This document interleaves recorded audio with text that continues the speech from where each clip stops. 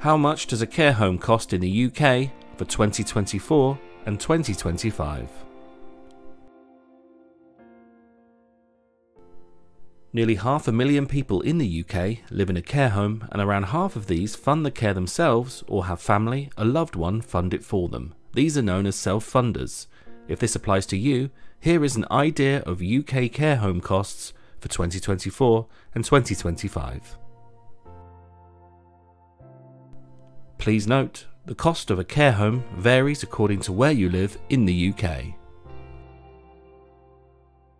If you are paying for your own care, the average weekly cost of a residential care home in the UK is £1,160, while average fees at a nursing home cost £1,410 per week. So residential care for a whole year costs on average £60,320 and nursing home care costs on average £73,320 a year. For self-funders, the monthly average cost of residential care is £4,640. Those paying for their own nursing care in a care home can expect to pay an average of £5,640 a month. Nursing care is more expensive than residential care, and care homes that offer specialist care, such as dementia care, tend to charge a higher fee. How to fund your care. If you live in England and have assets, including property, savings and investment, of more than £23,250, you will have to pay the full cost of your care. If you have assets of £14,250, you will have to pay some of your care home costs. In Scotland, the threshold for paying for care home accommodation is £35,000. You need to have capital below £21,500 to be eligible for maximum support. In Scotland, if you are eligible for personal care, this will be paid for by your local council.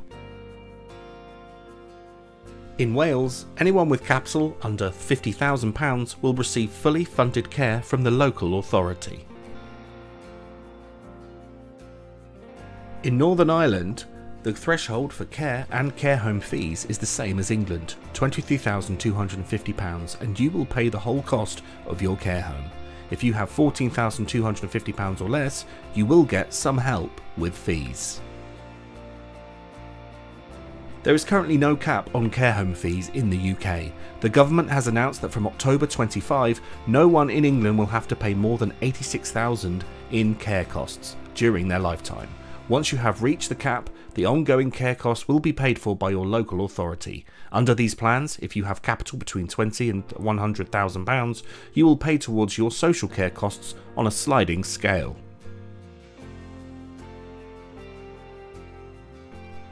For more information and advice on care home funding, visit carehome.co.uk forward slash advice.